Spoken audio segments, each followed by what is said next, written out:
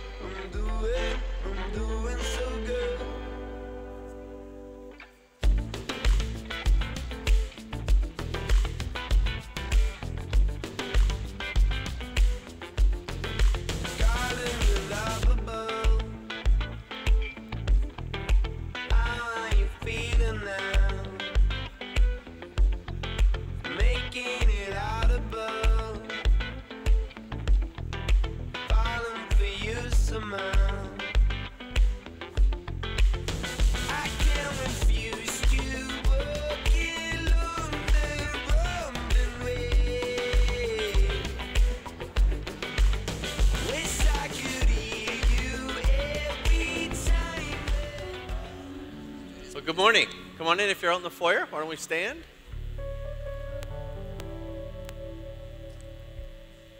Good to have you at our 10:30 service here at Pathway. My name's Alan. If any of you are new, uh, checking us out, glad that you're here today. I hope you enjoy your experience. We open our services in a particular fashion. We pray for other communities of faith around the great state of Maine. Uh, today we are praying for Litchfield Plains Baptist Church.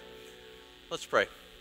Lord, what I, I love about the just the image, imagery of this picture is it's an iconic, you know, classic New England historical church, Lord. But uh, more importantly than the building itself, what what buildings like that represent is the faithfulness of God and the faithfulness of human beings to invite people into relationship with you. So we're thankful, Lord, whatever whatever context of their gatherings in existence are today, we pray you would meet them in a profound way, providing all that they need to be attentive and to have influence amongst those they have influence among. So bless them, Lord.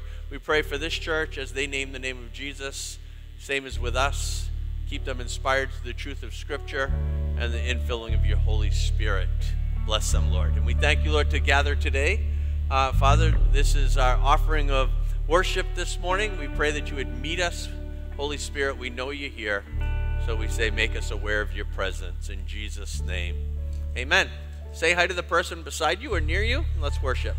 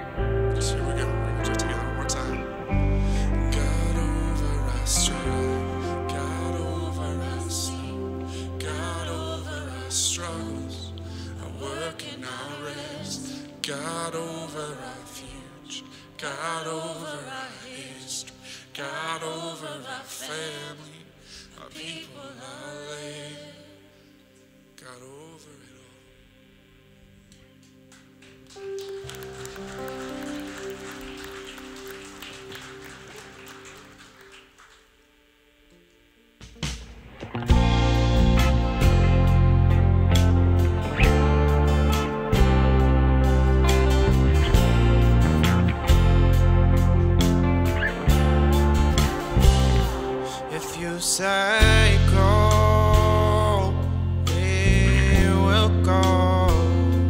If you say wait, we will wait. If you say step out on the waters, and they say it can't be done, we'll fix our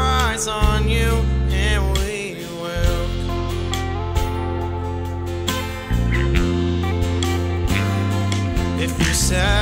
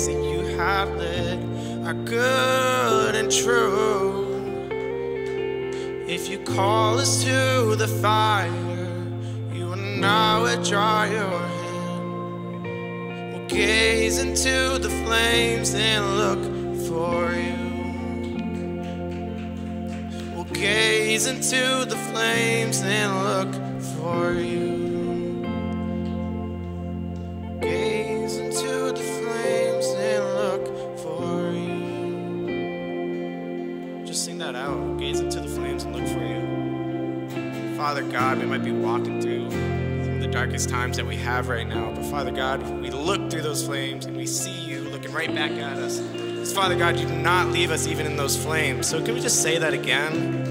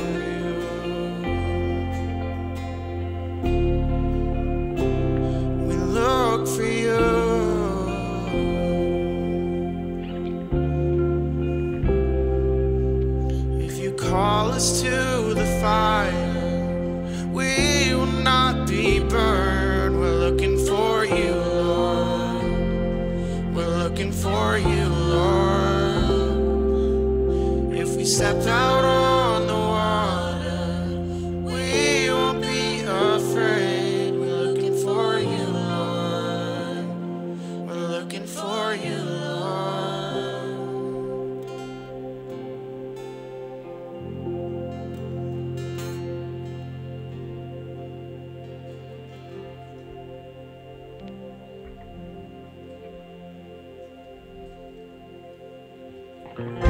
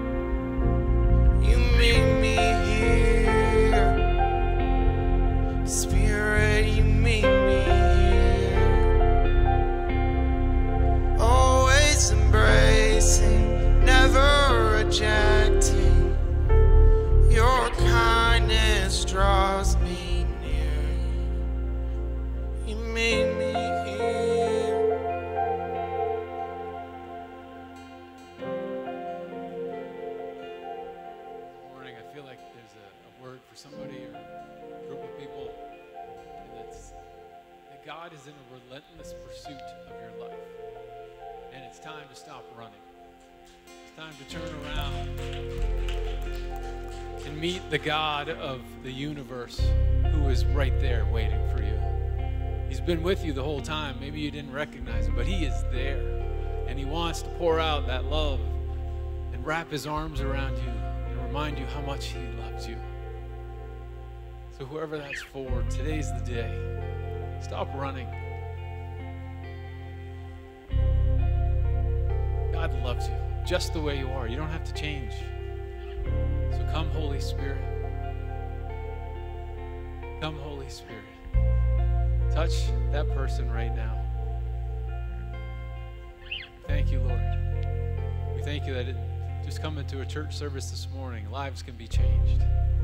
You are here. You love us. And we love you. So we're open to what you want to do today, Lord. We pray in Jesus' name. Amen. Amen. Please be seated. And at the end of the service, we're going to have people come up and pray for it, for anybody with anything. And if that's you, maybe something I just said, something that happened during worship, come up and get prayer today. Don't be afraid to do that. Uh, so, my name is Seth, and I'm one of the pastors here. And this morning, I want to draw your attention to the bulletins real quick. Uh, you might not have noticed, but we have a new one for the month of February. It's in the seat back, it's also at all of the doors. Maybe a greeter gave one to you, but it has all the events coming up in the month of February. And I just want to take a quick note to, to point out that next Sunday the, is the top one, the Chili Cook Off and Jersey Sunday. And if you've been thinking about wanting to make chili, but you haven't signed up for it yet, and it's just been on your mind, well, today's a great day to do that. And so a lot of times we use the Church Center app. Today we want to go old school. We want to use these. So if that's something that you want to do, you want to be a part of that great event next Sunday, just take a second, put your name on it, right on the back, chili, and we'll know what that means. And uh, we'll get in contact with you this week. And so if you want to do that, do it right now. And then we have a couple guys uh, and ladies in the back who will come up and get that if you have your hands up. All right? Uh, this morning, if you came, you've got a tithe, you've got an offering for the Lord. You want to to do that. You can do that on your way out. There's boxes at every exit. You can go online through the to uh, our website, pathwayvineyard.com, or the Church Center app. Uh, lots of different ways to give. And so let me just pray a blessing over that. God, thank you. Thank you for for everything and includes including uh, all that's going to be given today. Lord, would you bless everyone here? Would you bless all that's given? We pray in Jesus' name. Amen. All right, so please uh, take a second, fill those out if you want, and now check out the announcements. See what's coming up next.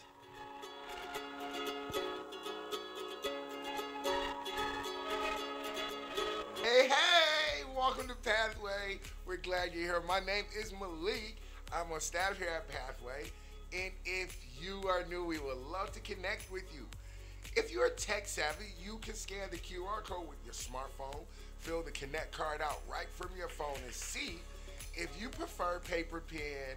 And people, we have a new and improved Connect card just for you, where you can see the upcoming events like If Gathering sign up for prayer requests, all while staying connected to other campus and locations. You can find these cards in the chairback or information booth. Regardless, however you fill it out, come to the info booth for every newcomer gets a gift just to say thank you for checking us out today. Church Chili Cook-Off in Jersey contest is going down Super Bowl Sunday. Please, if you got some good chili, sign up to make your good chili.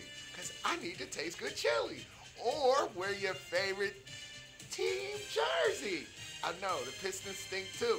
Okay, but don't worry, it doesn't have to be just football jerseys. It can be basketball, as you see. The chili with the most votes gets bragging rights and their name on the illustrious Chili Cook-Off Trophy. Donations will to our youth group program. Please sign up today and see you there. Baptisms. We will be celebrating with those who made an important decision to be baptized. If you're considering baptism, we encourage you to sign up for baptism class. See the info booth after service for more info. Team Winter Retreat. The Winter Retreat is back. Set your smartphone, your calendar for the February school vacation break with hundreds of students from Vineyard East region. We will be worshiping, listening to sound teaching, fellowshipping together at Camp Ladore in Pennsylvania. There will also be a ton of activities, games, and of course, food. Registration will close soon, February 9th. Seats are limited, so sign up today after church or use the Church Center app. See you there. Night of Worship and Ministry. Join us February 23rd, 7 p.m. to 9 for a night of worship and ministry. We will gather for a night of worship and ministry with our spiritual community. For everything that is in me blesses his name. Childcare will be provided. See you there. And for our final segment, hmm, did you know making eye contact with your neighbor and saying, Good morning, gives your neighbor a natural and genuine thought of having a good morning, especially when the morning didn't start off so good. So if you would please stand, turn to the person next to you and say, Good morning. As always, we hope you feel loved and welcome here at Pathway.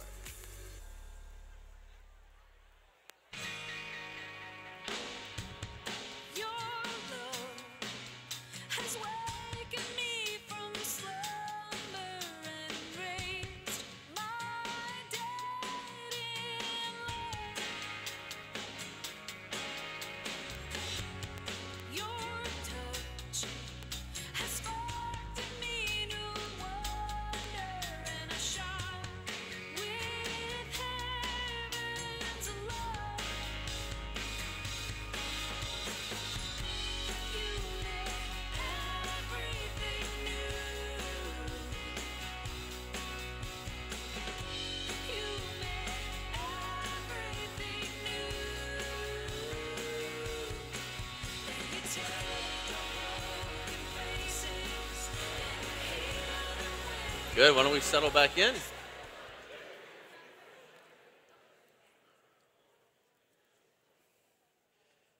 Yeah. So next next Sunday is just one of those Sundays to have uh, fun with. I know many of you will be watching the game, and in preparation of the game, we always thought it's a great day to do our chili cook-off.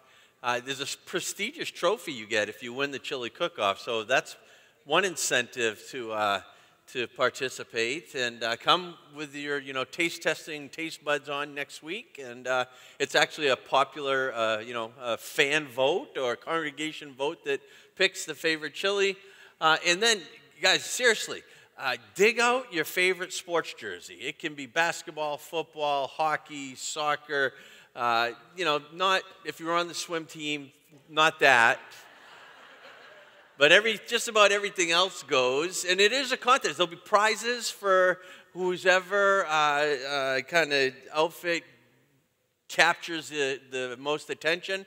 Uh, what I'm going to be looking for uh, next week, because I'm one of the judges, as all of you are, I'm wondering how many of you can squeeze into your old Letterman jacket. Uh, that'd be a good thing to bring, like to wear. Like I weighed 138 pounds when I graduated high school, so I have to cut mine up to get into it. But I'd be interested to see if any of you could get into yours. But yeah, just a fun Sunday next week. So leading up to the big game. Uh, verse thir- uh, we're going to look at 13 verses in the book of John today. We're still in chapter one, just starting this series. I hope you're reading along. The real challenge in all this is uh, John writes in such a way that, as we said, it can be uh, very introductory for those that are exploring the truths of Christianity, but there's deep, deep, profound, profound theological thought in all of these verses as well. So part of my challenge is just trying to uh, really be attentive to what the Holy Spirit's saying that He wants to say through me to us in terms of these passages in a life applicable way. I don't know about you, but when I go to church, I, I you know, hear a pastor speak. I'm hoping to hear something that I can really put into effect when Monday morning rolls around, right? I mean, that's, that for me was always the goal of, uh, that I appreciated if somebody could draw that out of Scripture. So I hope to do that for you today. Well, again, look at the first 13 verses. I think there's a few nuggets that uh, God wants us to focus on here. First, just in a review of what we looked at last week, let me just remind us, uh, read again the first five verses. Again, John is the apostle, he's writing these words. He uses interesting language to introduce Jesus coming on the scene. He says it this way in John 1 1. He says, In the beginning was the Word, and the Word was with God, and the Word was God. He was with God in the beginning. Through him, all things were made. Without him, nothing was made that has been made. In him was life, and that life was the light of all mankind. The light shines in darkness, and the darkness has not overcome it. Just a number of different ways uh, we could go just with those first five verses. But again, we said that John was very particular about the words that he used, referring to Jesus rather than a name, referring to him as the Word, capital W. And we said what he was doing there, he was, he was making an inextricable link between Jesus, the one who has arrived, the one who stands before you, is actually the one who spoke with the word things into existence. So Jesus and God, they're one. He's with God, He is God, He's in the beginning, He's here. Came with a very specific mission to bring light into the darkness of the world, to eradicate sin from the world. That's what John's saying in all of this opening. Jesus is God, and He's come to do for humanity what humanity can't do for ourselves, and that's fix the sin condition in the world. That's all packed into those first five verses. Now, to the Jewish mind, the Jewish audience, as they're listening, being familiar with the Torah in the ancient text, John is hoping they'd make that link. The Messiah that they had long awaited for has arrived. As we'll see today, we know that many that, uh, of the Jewish audience rejected Jesus being the Savior. We'll explore that theme a few times through this book of the Bible. And to the Gentile mind, well, by this time, humans had become very familiar with the fact that darkness, brokenness had permeated creation. You don't have to go far, you don't have to go far to find broken parts of humanity. And John's desire in writing this letter is they might understand that light has come to illuminate the darkness, not only illuminate the darkness, but eradicate the darkness from this planet. And that was John's desire in writing this letter, that all these things be communicated with. Today we'll look at verses 6 through 13 and find a few nuggets in there uh, in terms of what's going on. Verse 6 opens this way There was a man sent from God whose name was John. Let's just park there for a minute. Now, this John is not writing about himself here. The author John, the apostle John, is now writing about John the Baptist, who is a different John. And John the Baptist had a very specific assign- assignment. He would come and be a voice uh, speaking of the one who has come, the Savior. Now, it's important that you understand that uh, this role that John the Baptist played was a pretty important role because although John's life had been predicted, some 700 years before John the Baptist's arrival, Isaiah had prophesied that he would come and prepare the way for the Lord. A lot of time has transpired since that happened. And actually, there's an interesting time in, in history called the intertestamental time. It's the time between the concluding events of the Old Testament and the beginning events of the New Testament and the arrival of Jesus. Up until the arrival of Jesus, the way that God primarily communicated with humans was through the prophetic voice, through prophets. Think Elijah, think uh, Ezekiel, think Jeremiah, think Isaiah. God would speak through the prophet his heart, and they would communicate it to the people.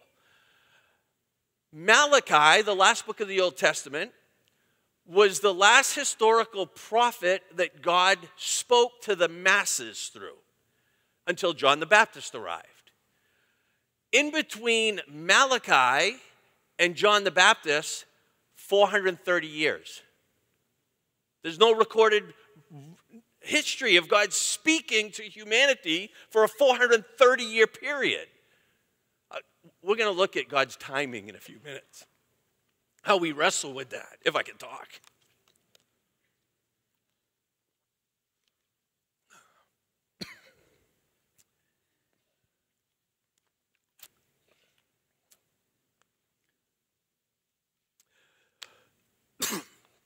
Sign up for chili.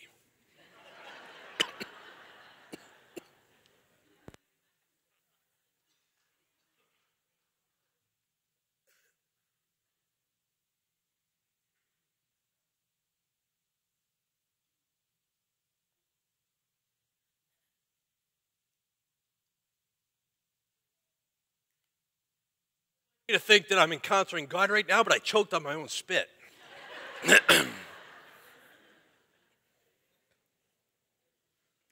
All right, it's coming back. So 430 years between Malachi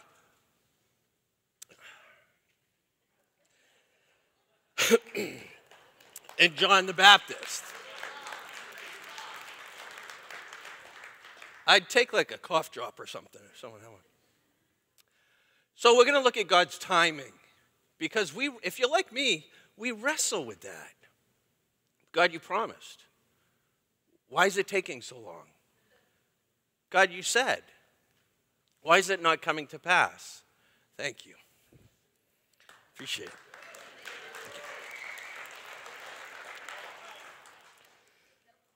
Awesome.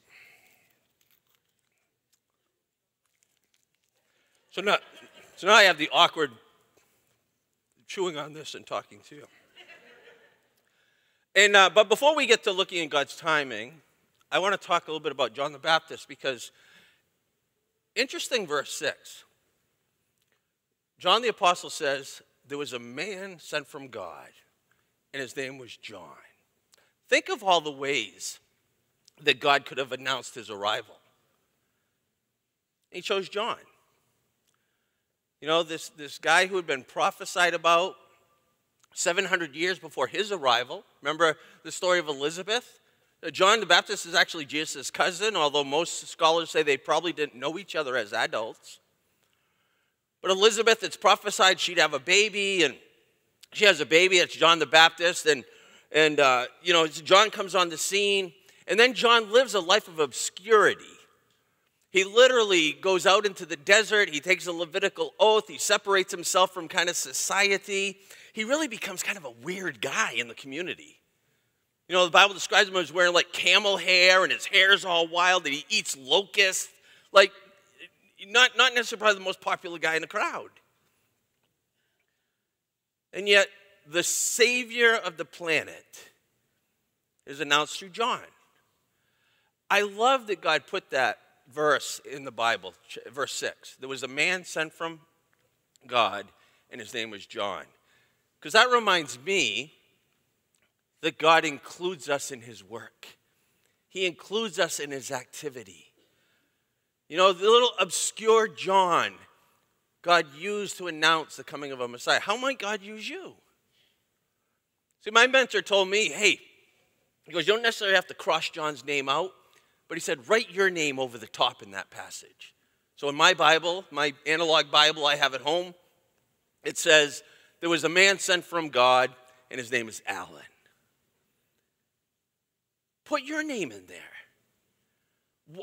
Why wouldn't God desire to use you for his purposes in the 21st century? Like John the Baptist isn't coming back.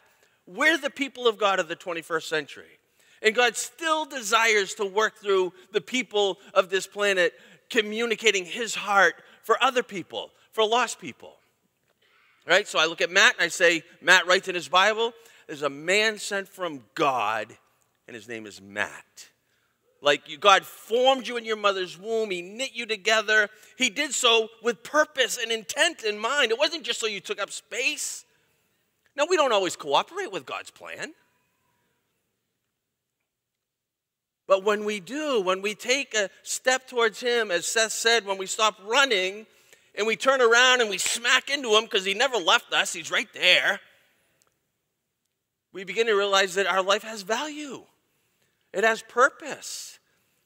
And if God could use John, why not you? I mean, think of all the ways that God could have announced the sending of his son Jesus to save the world.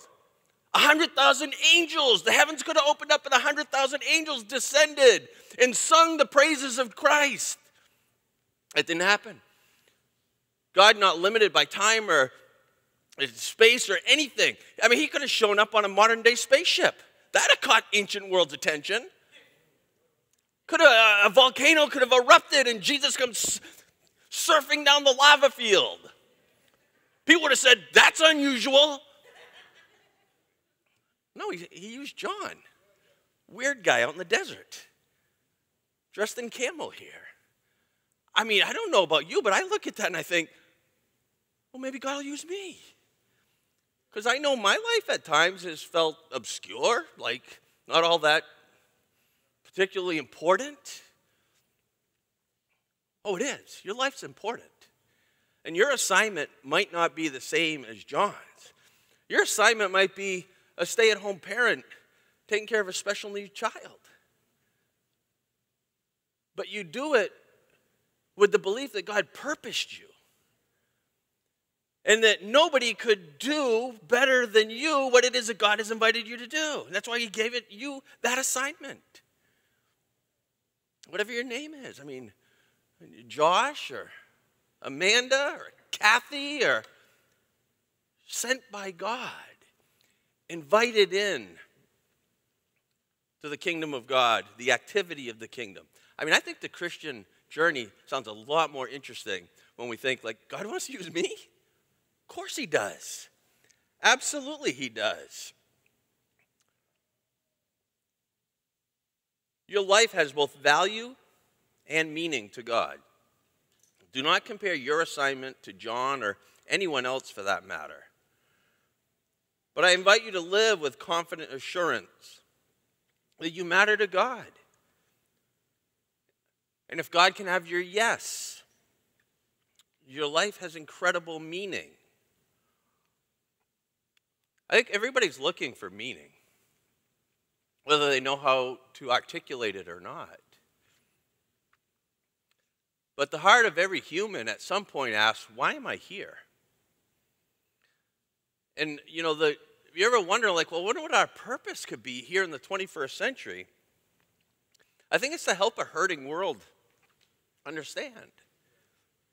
As John said, the light came into the darkness. The light was not overcome by the darkness. Like, there's hope, there's freedom. And there's a lot of people that just don't understand that they're here on purpose for a purpose. You know, Tim Keller would always say to uh, anybody that was maybe uh, atheist thinking in the audience, and he would say to them, you know, if, if you really believe that you arrived from nothingness, thus making your entry into the world insignificant, and if you really believe that when you die, you just deteriorate into dust, so your death has no significance. Well, the sad fact is that means that while you're living, you're insignificant. Where's the hope in that? The truth of the matter is, is you have great significance. There was a man sent from heaven, and his name was Adam. His name was Jeff. Her name was Rachel. Her name was Diane. And the God of heaven is just wooing you and saying, Come be part of what I'm doing. I have so much more to offer you than what this world is offering. There's a man sent from heaven. His name was John. He came with a fascinating assignment. As I was reading this text, though, I'm thinking, okay, Lord, what? Well, this thing, there's so much deep theological thought in here about the light and the darkness, and we'll get. Uh, good thing about John is he weaves these themes throughout his writing. So if we don't necessarily maybe touch on the part that really piques your interest in, in some of these teachings, we'll, we'll circle back around and get to these passages. But just so you kind of understand the way my, my mind works, um, as I was thinking about John the Baptist, thinking about the arrival of Jesus, uh, one of the things that I began to just do a deep dive in in my study was God's timing. Have you ever been like me and think, God, why did you wait so long? Like 4,000 years or so between the fall and Jesus coming to fix what humans broke?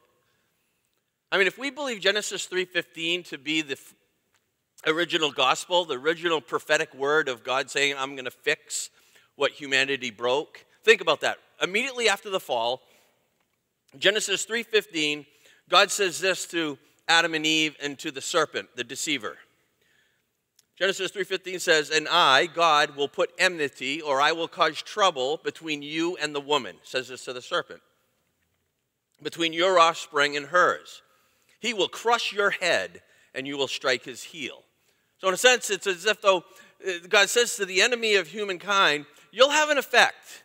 You'll hurt my creation, but ultimately you'll be defeated. The crushing of the head of the serpent. Revelation paints this picture where evil is eradicated because of the work of Jesus Christ. God makes this proclamation to humankind right after they broke creation. And then, some 4,000 years later, John the Baptist comes on the scene. Do you ever wrestle with God's timing? I- mean, I do. Why the wait? John the Baptist is prophesied about by Isaiah 700 years before he arrives. Why the wait? So I asked myself that why the wait? Do you want to know the answer? Yeah, I do too. I don't know. You know, when, when people say, well, Alan, God's timing isn't our timing, that doesn't always help. Even though it's true. M- Maybe we wouldn't existed if God hadn't waited. I, I don't know. But I do know this. If God sets something in motion and then says, "Yay, wait, the wait has purpose and ultimately will be worth it. I think one of the sad commentaries we read in the passage today is John said that the light came and he came amongst his own and some rejected him. And we'll see that theme throughout John. They, they, they despised the wait, they gave up waiting. The very people that said, We're waiting for a Messiah, we're waiting for a Messiah, we're waiting for a Messiah. John the Baptist comes on the scene, the scene and says, Here's the Messiah. Uh, no, no, no, no, that's, that's, not, that's not what we're expecting. They got, unfortunately got lost in the wait. I, I'd say if God has you in a place of waiting, the wait will be worth it. We're familiar with that saying, right? Worth the wait. But how many of us are actually good at waiting? My buddy this week, I was having a conversation with him about, about this. I just mentioned, now I'm going to talk a little bit about waiting. He said, Yeah, he goes, lots of times we spell wait W E I G H T, meaning waiting, waiting is burdensome for us. You know, just think through your own journey. How, how good of a waiter are you? I mean, wait three minutes in the drive up, and we begin to question the competency of the kid that took our order. Wrong with this person? We binge watch TV series forgetting that if you're my age, we had to wait a week between episodes.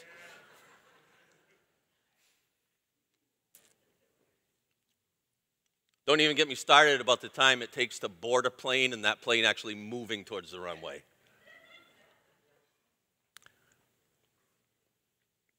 Consider pregnancy. Can you imagine not having that nine month wait? It was just like getting a puppy. Hey, you want to stop at the baby place on the way home? Not that we're ever ready for a baby, right? But thank God for the wait. Waiting can prove useful. Waiting often means that things are having to happen in order for the desired outcome to come to fruition. See, God knows better than us what has to happen through His timeline as He sees history in order for the desired outcome. What's God's desired outcome? That the maximum amount of humanity goes to heaven and lives eternally with Him. And He knows perfectly how long the wait needs to be in order for that best desired outcome to come to fruition. Don't despise the wait. John the Baptist, I mean, a, there's a pretty kind of somber lesson to be learned in just John the Baptist's life. He gets prophesied about by Isaiah 700 years before his arrival, about by Malachi 400 years before his arrival. Finally comes on the scene. Man sent from heaven, uh, from God. His name is John. He's on the scene. He has to go live in the desert for 30 years, waiting for his assignment. And then John the Baptist's assignment day comes. It doesn't end well for John. As we'll see, he had a very brief moment on the earth after the wait. Don't despise the wait. It's often in the waiting that God is doing his work of preparation, formation, and transformation. And when we begin to outpace God because we're frustrated with the wait, it's when we usually compound our brokenness. Because we don't like to wait. We like to be in control. I, I, would just encourage you, maybe, John, as we read through it and you think through things like timing, we'll begin to develop a habit where we really allow ourselves to trust God's timing. And so our prayers maybe begin to shift a little bit from frustration of waiting to saying, Lord, may I discover what it is that you want to do in me in the midst of this wait. It begins to change the way we, we look at waiting. John the Baptist has an uh, interesting journey, as we'll see as we, we press into his thoughts here. Again, he makes a very declarative statement. What I don't want to get lost in all of John's writing here in these first 13 verses is the gospel, the good news gospel is woven through it. Like with all the kind of rabbit trails we can go down with, you know, uh, us being created on purpose for a purpose and the process of waiting, what John has made very, very, very, very, very, very clear is Jesus primarily came to do what? Help us gain access to God our Creator. That the light came to overcome the darkness. I, I love the way he concludes it. He says, verse 12, after he spoke of he came amongst his own, but his own did not receive him. In verse 12, it says, Yet, for all who did receive him, to those who believe in his name, he gave, he is giving the right to become children of God. Children born not of natural descent, nor of human decision, or a husband's will, but born of God. I love the way John just kind of, because he's talking again to a, a, a Jewish audience who, I mean, you know, at times the, the, the people of God, the Israelites, they, they got a little bit exclusive with who the good news was for. You know, which is natural. Like all of us, if we're given an assignment, we begin to, you know, develop that attitude like, well, this is my, you see the assignment God gave me? My, not your assignment, my assignment. I don't know why we do that to each other. But the, the, the, Jews had, had been given an assignment, and this assignment was coming to fruition. They reject Jesus. And Jesus just says, Guys, it wasn't just for you that I came either. Because there were those that would begin to misuse the gospel. And he says, For all who did receive him. John is helping us understand that who's the good news of Jesus Christ for? Whoever calls on the name of the Lord. No matter background, heritage, ethnicity, place of birth, it's for whoever calls on the name of the Lord. And as you call on the name of Jesus, what do you receive in turn? Your heritage is changed. Instead of being separated from God, you're, you're, you're enveloped into the arms of God as a child of God for all eternity. Again, John said in chapter 20, if you remember when we looked at last week, that's why I wrote these words to help people understand. Jesus came for a very specific reason to fix what we could not fix for ourselves. That is what separated us from God, our sin condition. Jesus fixed it for us by dying in our place, raising to be with the Father. So, all that we have to do by the grace of God is simply say, God, I'll take what you're offering. I want to be removed from the dark places of this world and walk in the light that you are inviting me into. And John's saying, all you got to do for that is say yes to what Jesus is offering. Maybe that's the nugget for you today. Why don't we stand?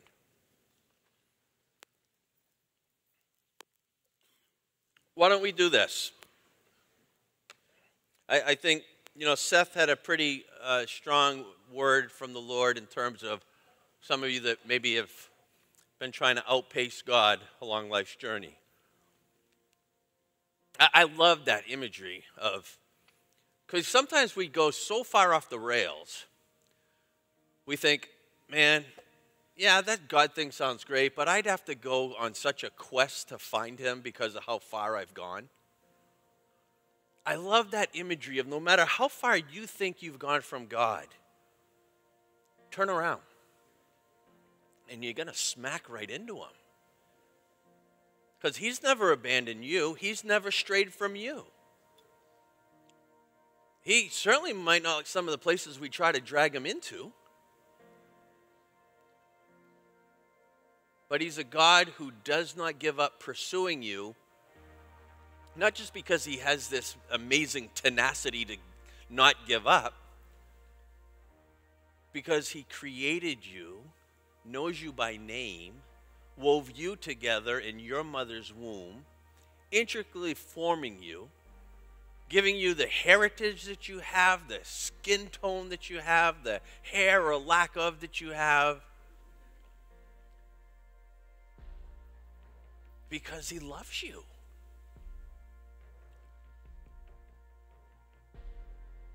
That's why you're here. Because the God who spoke everything into existence.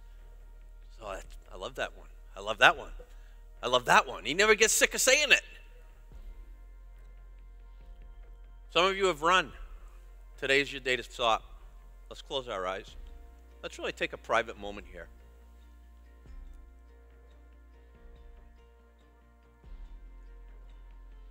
If you want to stop running today, I'm not trying to embarrass anybody. I'm just trying to mark this day, February 4th, 2024, for you. If you want to stop running today, just raise your hand up for a minute. I'm going to lead you in a prayer. Awesome. Hands around the room. Now, just you can put your hand down. Just say this prayer to God in the quietness of your own thoughts. Jesus, here I am. This day in February 2024, I'm stopping the running. I say yes to you, Jesus. I say yes to forgiveness. I say yes to a new life. I say yes to a relationship with my Creator, God. I surrender my life to you today. May I begin to understand the love you have for me and the purpose you created me for. I say yes to you today, Jesus. For those of you that have prayed that, I'd like a prayer team to come forward. I would just invite you, if you had the courage before you left to come say hi to one of our friends down front, we would just love to pray for you. Like to just get you kind of kick started on this journey. I can understand the thought of that, which might seem overwhelming to some of you, but the, the neat thing about doing uh, kind of foolish things in front of Christians is Christians have already done those foolish things, so they don't seem quite so foolish to us. And so, if you said yes to Jesus today before you run out of here, I'd love for you to maybe to come say hi to one of these guys when I dismiss. Just let us know your name and maybe say we'll pray for you. We'll help you now walk this journey that we have to walk by faith. I'd say if you're wrestling with God's timing in any situation and circumstance, and you just want God to meet you in that, when I dismiss, come get some prayer for that.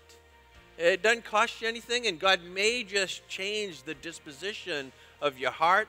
God may even change the circumstances. Like, why not ask? Like, I just not. When you hear me talk about not getting frustrated with God's timing, that doesn't mean we don't have permission to ask that God's timing would change or, or that his the situation would change that the timing would actually be like okay now that's done Like we can pray for that. We can ask for that. Ultimately, we just don't want to be undone when things don't happen the way exactly we want them to. Or if you feel like you've lacked purpose, maybe you felt you've lived in obscurity. Maybe maybe you're saying, I can't, I don't believe God has purpose for me. We'd like to pray for that over you. Uh, because I believe it for you with all my heart. And that's one thing I love about our Christian faith is sometimes we have to lean on the people that believe things for us when we have a hard time believing them for ourselves. That's the beauty of Christian community. Like I believe things for you sometimes more passionately than I believe them for myself. That's just the way we do this. Let me, let me close us in prayer. Lord, thank you for what you're doing here in our midst today. God, for those that perhaps have felt like they were running and they took a, just a posture of surrender today. So I'm tired of running. Lord, I pray that they not leave here feeling like, oh, I just made an emotional response. I pray you would really, really, really capture their life in such a way that today becomes the first day of the rest of their eternity. That they can mark this day, February 4th, 2024. I met the God of creation. Do that for them, Lord. Show them the love you have for them. And just as a church, show us how we can come alongside and help. Lord, I pray that not a listener to my voice would feel insignificant in this world. There's a man, there's a woman sent by God, and they stand before me, Lord. Let each of us believe that. And God, when it comes to life's timing, God, I pray you'd give us a ruthless trust that if you've said it, you'll set it in motion. May we meet you in the moments in between. In Jesus' name. Amen. God bless you guys. Come get some prayer if you'd like. Bring some chili. Bring a jersey next week. We'll see you on the journey.